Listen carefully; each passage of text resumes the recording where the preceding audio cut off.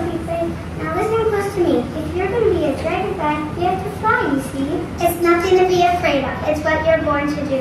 Now it's time for courage. We believe in you.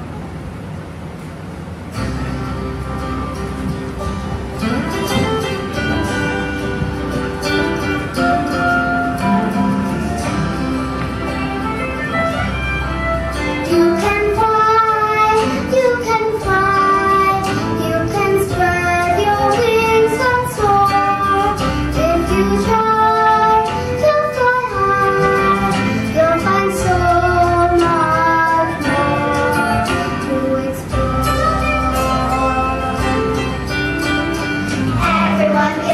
frightened when you start to change.